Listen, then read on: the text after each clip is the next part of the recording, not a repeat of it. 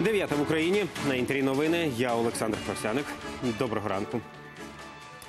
Уже за годину у Києві відбудеться інаугурація новообраного президента України Володимира Зеленського. В урядовому кварталі столиці готуються до церемонії, облаштовують сесійну залу Верховної Ради, Маріїнський палац, адміністрацію президента.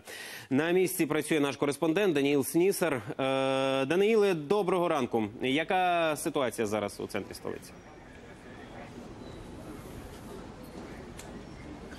Олександре, вітаю. Власне, перед Верховною Радою тривають останні приготування до проведення інавгурації. На площі Конституції здебільшого журналісти та сотні правоохоронців. Потроху починають сходитися люди, глядачі. Їх пропускають лише після ретельної перевірки. Пости охорони е, і рамки металошукачів встановлені по. По периметру. Е, Такі заходи безпеки обумовлені е, приїздом іноземних делегацій. Урядовий квартал повністю перекритий від е, сьомої ранку. е, Рух обмежений від європейської площі і аж до метро е, Арсенальна. І це обмеження буде діяти щонайменше до обіду.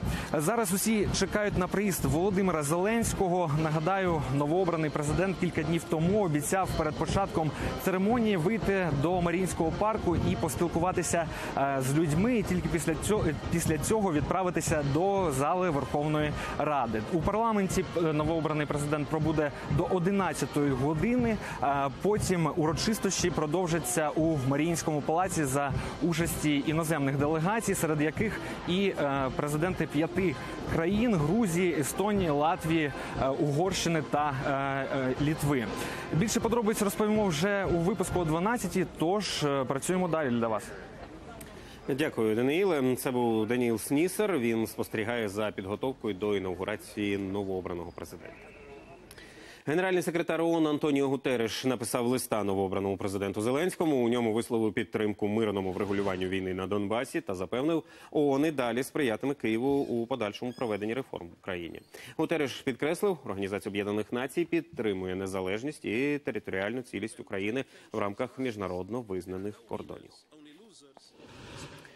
Один український армієць поранений цієї ночі на передовій. Минулої доби ворог 11 разів порушив режим тиші на Донбасі. Бойовики цілили із зенітних установок по околицях Троїцького. З великокаліберних кулеметів та мінометів обстріляли опорні пункти ЗСУ біля Золотого 4, а водяне накривали вогнем з ручних протитанкових гранатометів.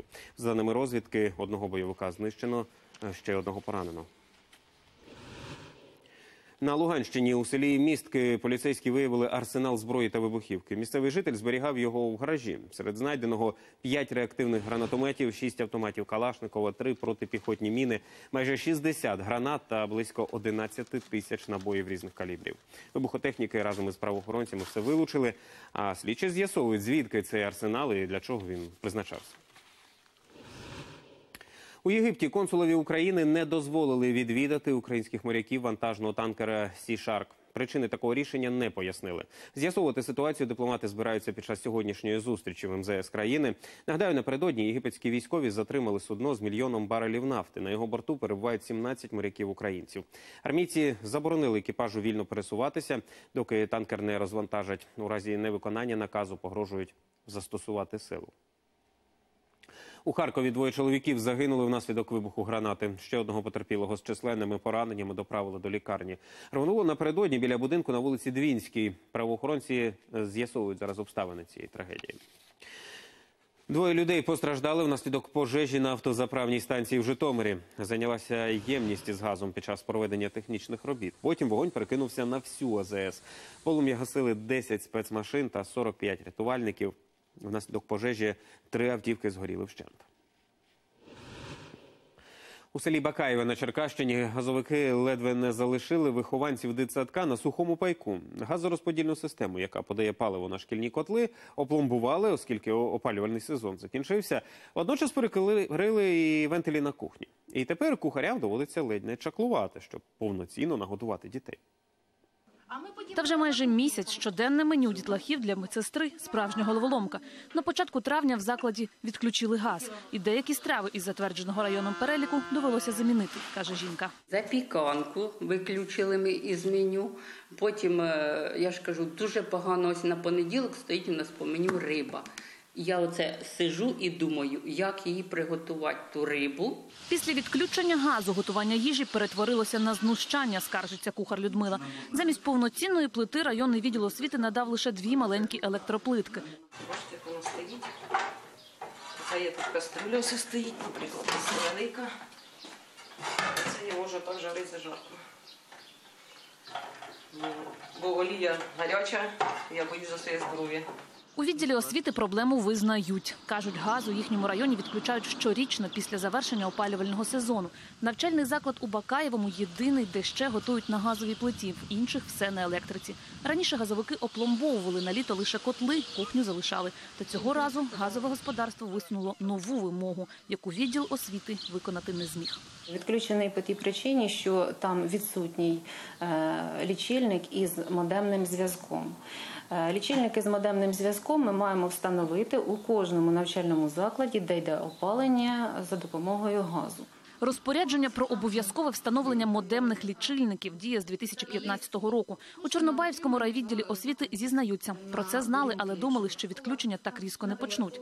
Чиновники запевняють, коли в січні отримали листа від облгазу, одразу виділили гроші на розробку проекту встановлення лічильників у 17 навчальних закладах району. І навіть кошти на закупівлю приладів у бюджеті передбачили. Та от в облгазі стверджують, усі споживачі мали вдосталь часу встановити лічильники. Не мали бажання виконувати цю норму законодавства. Всі організації, які е, брали участь у е, включенні в опалювальний сезон і мали лічильники, на яких треба було встановити дистанційну передачу даних, вони написали гарантійні листи, що до 1 травня вони зобов'яз- зобов'язуються е, здійснити установку цих лічильників. Нині проект встановлення лічильників у Чорнобаївському районі лежить на затвердженні в облгазі. А от у Бакаївському НВК уже б'ють на сполох. Із 27 травня у них відкриється оздоровчий дитячий табір. Ольга Требинська, Станіслав Кухарчук, Павло Тимошенко, телеканал Інтер. На Хмельниччині дві сотні дітей опинилися в водяній пасті. У селі Черче відбувався чемпіонат області зі спортивного туризму серед школярів. Раптово почалася гроза зі зливою, і річка Смотрич вийшла з берегів. Учні, які перед негодою встигли переправитися на інший бік, самотужки повернутися назад не могли. Заблокованими опинилися 201 дитина та 53 дорослих.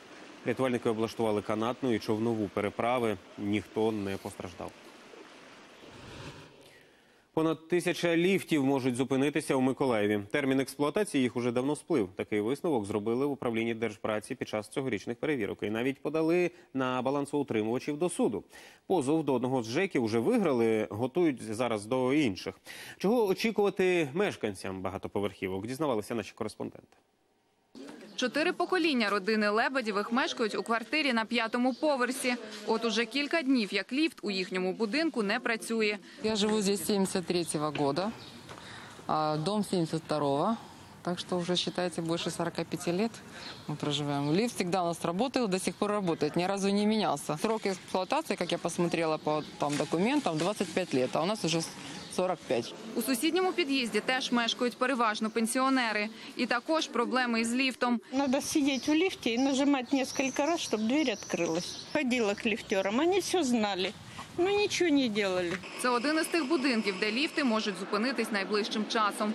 Результат першої перевірки управління держпраці в Миколаївській області незадовільна оцінка 29 ліфтів. Усі вони на балансі товариства Миколаїв Будсервіс і працюють, хоча термін їхньої експлуатації сплив. Законність вимог держпраці нещодавно підтримав і суд. не пройшли позачергового технічного огляду та ремонту після експертного обстеження. Тобто після експертного обстеження експерт склав дефектовочну відомість і ході ремонту підприємство за балансоутримувач повинен був ці несправності устранити. Він цього не зробив. У ЖЕКу нам пояснили, що з рішенням суду не згодні і вже готують апеляцію. Ліфти, зазначені в постанові, й досі працюють. Вони старі, але не аварійні. Разом із тим Миколаїв Будсервіс не уповноважений робити капітальний ремонт ліфтів. Каждый год подаются э, заявления э, с э, тем, что выходит срок эксплуатации определенных лифтов в определенных домах. И э, есть список, и каждый год он подавался, но средства на них не выделялись. У департаменті ЖКГ кажуть, загалом у Миколаєві більш як дві тисячі підйомників, і майже половина з них встановлені ще за радянських часів. Найменша цифра, яка може бути виділена на сьогоднішній день по тим е, судовим е, провадженням, які- є, це е, близько 60 мільйонів гривень на відновлення. Якщо порахувати всі післяекспертні капітальні ремонти, які необхідно зробити, то ця цифра дійде десь близько півмільярда. Тим часом управління держпраці провело ще низку перевірок в інших районах і підготувало позови щодо неможливості продовження роботи ліфтів і ще для шести жеків. Катерина Персицька, Марина Михайловська, Олексій Уманський, телеканал Інтер Миколаїв. На Рівненщині у селі Садове гадюка вкусила трирічного малюка. Батьки звернулися до лікарів лише наступного дня, коли побачили, що у дитини набряк. Як нині почувається хлопчик, довідувалися мої колеги. Трирічний Матвійко в реанімаційній палаті. Хлопчика ні на секунду не відпускає маму. Жінка каже, побачила, що синові зле посеред ночі. Чотири часа ночі стало пухнуть. Я думала, що злоба. На ранок думаю, скоро визвала, що ж мені це є. То визвала скоро, де привезли сюди. На лікарняному ліжку хлопчик опинився після звичайної прогулянки. На малюка напала змія, кажуть рідні. Що сталося лихо, батьки зрозуміли лише наступного дня. Тоді в Матвія вже набрякла нога, поважчало дихання. Він перше казав, що йому вдарили в ножку, де стала синіть. А потім вже тут в лікарні сказали, що змія вкусила. Який саме плазун вкусив, хлопчик описати не може. Ніжка під дією медичних препаратів уже заживає. Набряк потроху сходить. Хлопчик до нас потрапив через добу після укусу змії у важкому стані. Наразі стан його важкий, але стабільний. Хлопчик е, зразу при поступленні до наш в наше відділення отримував. Був йому введений антитоксин проти зміїної отрути. Була дезінтоксикаційна терапія, проводилась і посиндромна терапія. Нині загрози життю Матвія немає, проте без ін'єкції хлопчик не вижив би, кажуть медики. Запевняють, проти зміїнного антидоту в області нині вистачає. Поки що ми маємо і на складі маємо і обласні дитячі лікарні. Звичайно, е, в минулому році були випадки покусів, але ж не у всіх випадках ми призначали. Це клініцисти вирішують, як іде розвиток захворювання, покусу. Навесні змії найнебезпечніші застерігають фахівці. У цей період їхня отрута найтоксичніша, а поведінка агресивна. Адже вони пробуджуються від зимової сплячки. Відрізнити звичайного вужа від отруйного плазуна можна за формою голови. У гадюк небезпечних для людей вона трикутна. Гадюка, звичайно, вони не лазять по деревах, вони низько знаходяться. І тому, якщо краще в якісь е, корчі не лізти, але якщо гадюка десь на видному місці, краще обійти. Краще взагалі не чіпати, не гнати, палкою не штовхати, тому що коли тварину не чіпаєш, відповідно не буде реакція тварини. Якщо раптом змія таки вкусила, фахівці радять у жодному разі не починати самолікування, не зволікати й одразу звертатися по допомогу до медиків. Вакцина дозволить уникнути болючих і небезпечних ускладнень. Від початку року на Рівненщині це вже другий випадок укусу змії. Гліб Баврилов, Сніжана Сидорук та Микола Василюк. Новини телеканал Інтер. Рівненська область. Щонайменше 16 осіб поранені внаслідок вибуху у Єгипті. Рвонуло поблизу туристичного автобусу біля комплексу пірамід у Гізі. Більшість потерпілих подорожувальники з Південно-Африканської Республіки. Відповідальність за атаку поки що ніхто на себе не взяв. Це вже другий напад на іноземців у Єгипті за останні півроку. Торік у грудні три туристи з В'єтнаму та їхній гід загинули, і ще 10 людей зазнали поранень. У китайському місті Вайсе обвалилася будівля місцевого нічного бару. Сталося це, коли в закладі були відвідувачі. За офіційними даними загинула одна людина, 77 травмовані. Їх шпиталізували. На місці працюють рятувальники. Скільки людей під завалами невідомо. Причини обвалу наразі з'ясовують. Одна людина загинула і понад 70 поранені внаслідок масштабної ДТП у Німеччині. Поблизу Лейпцига прикинувся рейсовий автобус, який прямував з Берліна до Мюнхена. Серед потерпілих семеро із важкими травмами. Їх доправили до лікарні гелікоптерами. Причини цієї аварії ще з'ясовують. У Швейцарії відбувся референдум щодо посилення законів про зброю. Нові поправки внесли, щоб наблизити законодавство країни до вимог Євросоюзу. 64% громадян проголосували за посилення контролю над обігом та володінням особистою стрілецькою зброєю. Найсерйозніші дискусії викликали нові правила щодо придбання її напівавтоматичних видів. Тепер на них потрібно отримувати дозвіл та допуск кантональних наглядових органів.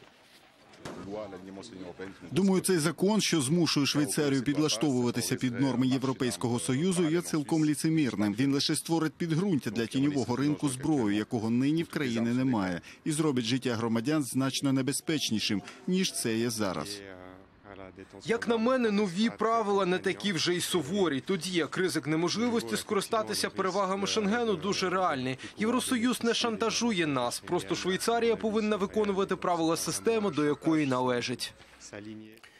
Чемпіонські велоперегони для дітлахів у столиці просто неба зібралося 650 юних велосипедистів від 3 до 10 років. Змагань учасники чекали не один місяць і реєструвалися заздалегідь, адже охочих було чимало. Анастасія Старовойт розкаже більше. До дитячих велоперегонів Влад готується як дорослий спортсмен. Перед гонкою намотав не один десяток кілометрів. Випробовував швидкість. Це як? Ну, тренувався на час, на коло. Захоплення юного чемпіона активно підтримують батьки. У нас друзі тут вже не перший раз приймають участь. От минулої осені ми з ними за компанію поїхали. Влад зайняв перше місце. Йому дуже сподобалось. І знову ми тут. Цього року на старті велоперегонів 650 дітлахів. Серед них і юні велосипедисти з Латвії та Білорусі. А починалося все 12 років тому з двох десятків учасників. Ми ніколи не робили реклами цього заходу. Рух на свіжому повітрі, і заняття спортом це просто дуже потрібно людям і дітям. Цього дуже мало, замало. І е, це ну, користається великим попитом. І ми попали в таку тему, просто вгадали. Ми дуже зворушені, що до нас все одно приходить дуже велика кількість дітей. Батьки, я бачу, як вони тут зустрічаються, радіють один одному. І діти завжди тут е, дуже себе гарно почувають. Учасники кожного заїзду мріють про одне фінішувати переможцем. На старт! Увага! Рух! Ті, кому це вдалося, діляться таємницями чемпіонської підготовки. Мы с папой дуже гоняемся и устроим гонки. Я быстро еду, конечно. Даже я смогу с горки быстро ехать. Я много тренировался и много ела. А скажи, скільки ти вчора проїхав з папою? 20 кілометрів? 20 кілометрів. У своїх силах дітлахи впевнені, тому першість у заїзді для них цілком очікувана. Я точно очікувала на медаль, тому що або е, друге, або перше, або третє. Я в тому році виграла теж друге місце, а перший раз, коли я змагалася, виграла третє. Та хто б не перетнув фінішну пряму першим, за правилами велоперегонів медалі отримують абсолютно всі учасники. Тож переможених тут немає. А вже восени сотні учасників знову з'їдуться на велоперегони, аби усім довести, що вони найкращі. Анастасія Старовойт, Володимир Дєдов. Новини телеканал Інтер. Як розвиватимуться події, дивіться вже у випуску о півдні. А в мене поки що все. Гарного вам дня і до зустрічі завтра зранку.